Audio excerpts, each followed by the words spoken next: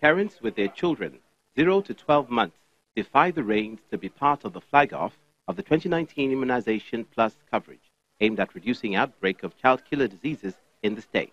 The immunization team, led by the Primary Healthcare Development Agency and a senator representing Benue South, Senator Abba Moro, commends government efforts at ensuring basic health coverage in the state.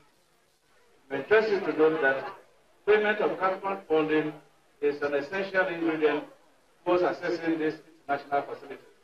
And for our governor to continue to show commitment in this regard, I think that all Benue sons and daughters definitely uh, owe you gratitude. For our children, this I hope that the governor and supporting the governor should be able to eradicate some of the elementary diseases that can kill, which we can contain if we show commitment, which the governor is showing.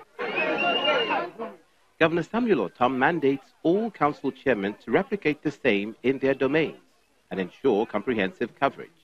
Good collaboration with the traditional leaders, implementing partners, and other relevant stakeholders on demand creation will improve awareness of immunization activities in the state. Governor Ortom and his team then moved to a Catholic pilgrim site for the inspection of ongoing school and water project. We're here today to see how far the water project and also the school project is going.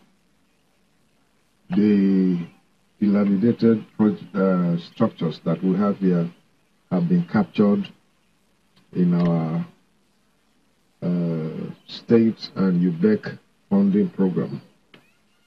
And very soon, the contractors will be on site to also give the entire school a new face. Governor Ortom also reiterates promises to rehabilitate and rename a public school in Ogena Mejo, attended by late Ms. Ochanya Ogbanje, who died in 2018 from rape complications.